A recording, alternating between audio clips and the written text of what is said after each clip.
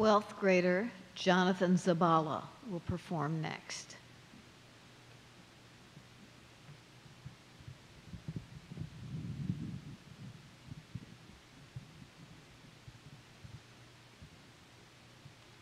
Black Boys Play the Classics by Toi Derricotte.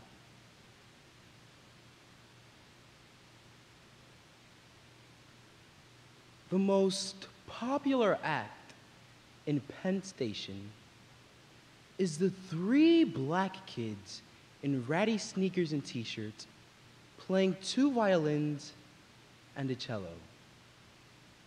Brahms.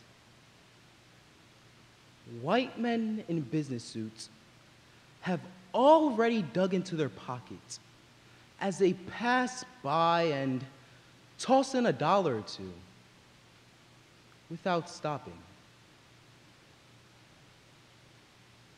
Brown men in work soiled khakis stand with their mouths open, arms crossed on their bellies, as if they themselves have always wanted to attempt those bars.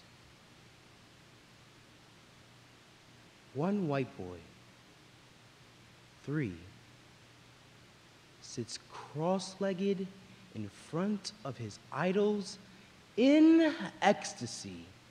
Their slick, dark faces, their thin, wiry arms, who must begin to look like angels.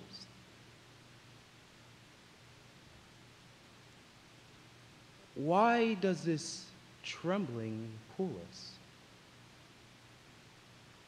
A, beneath the surface we are one. B, amazing. I did not think that they could speak this tongue.